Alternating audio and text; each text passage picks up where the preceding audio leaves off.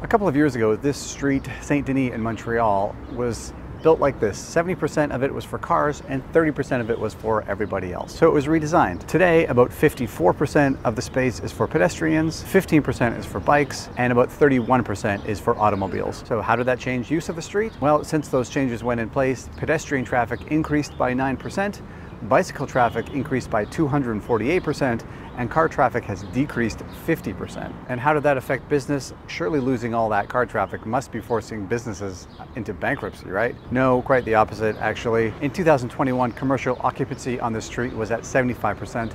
Today, 85%. So street redesigns like this are good for people, people on bikes, and business.